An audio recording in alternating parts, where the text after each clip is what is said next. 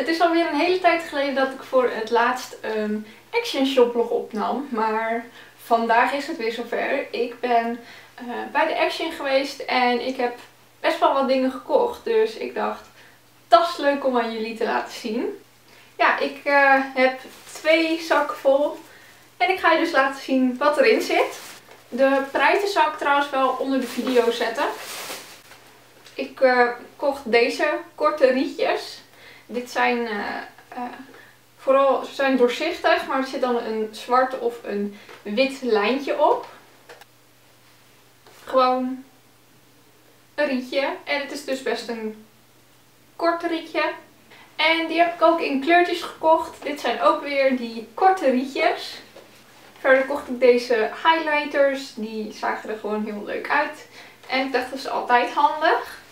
En lijmrollers. Ik heb er vier gekocht omdat lijmrollers zijn gewoon super handig. Dit zijn, uh, dit zijn gewoon rolletjes. Net als hoe je die T-Pex rolletjes kent. Van die correctierolletjes. Maar dan met lijm. Dus dat is super makkelijk. Want dan kan je iets super goed vastplakken. Maar dan heb je niet het geknoei met lijm en zo. Dus dit is altijd super handig om uh, gewoon te hebben. En ik gebruik ze veel. Dus witte acrylverf. Want mijn acrylverf was op. Dus ik heb even een nieuwe tube gekocht.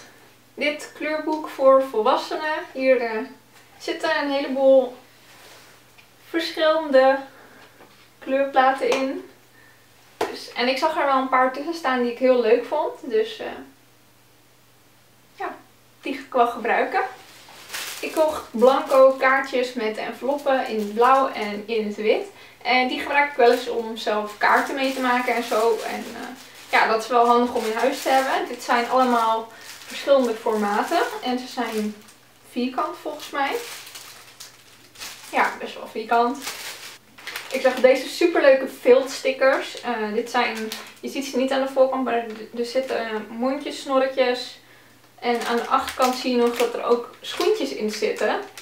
En die vond ik wel heel erg leuk. Dus dit zakje met stickers.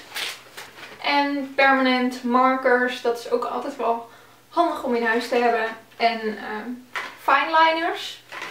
En scharen. Want op een of andere manier heb ik een gave dat ik scharen verpest. Dus een klein schaartje. En grotere scharen. Dus dat was wat er in de eerste tas zat. Verder kocht ik een, zo, een hoesje voor mijn iPhone. Omdat ik heb nu een zwarte en ik wilde een roze. Dus die heb ik gekocht.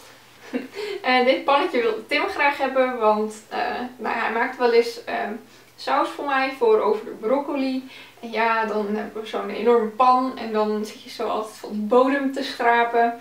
Dus hij wilde een sauspannetje. Dus nu hebben we een sauspannetje. En hij wilde een groene, want het is groentesaus. Dus, een pannetje. Plastic bekertjes. Nog meer plastic bekertjes. En twee dozen met tissues. Dat is altijd makkelijk uh, ook om in huis te hebben.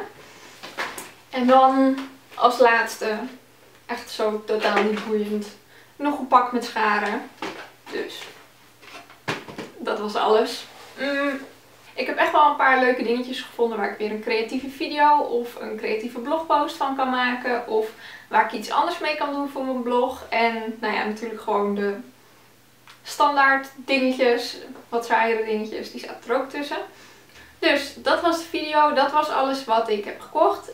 Laat zeker even in de reacties weten wat jouw favoriete item uit de shoplog was. En um, ja, als je de video leuk vond, doe een duimpje omhoog. En ja, als je, als je vaker video's van mij wil zien, dan kun je abonneren op mijn YouTube kanaal.